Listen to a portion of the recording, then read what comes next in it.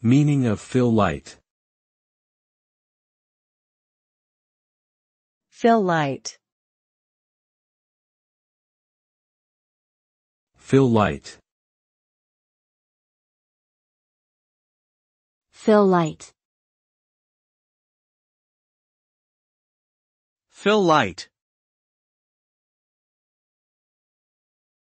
Fill light refers to an additional source of light used in photography or video production to soften harsh shadows and illuminate dark areas.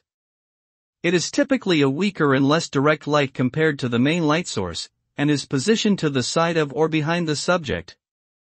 The result of adding fill light is a more balanced and natural looking image, with less contrast between highlights and shadows.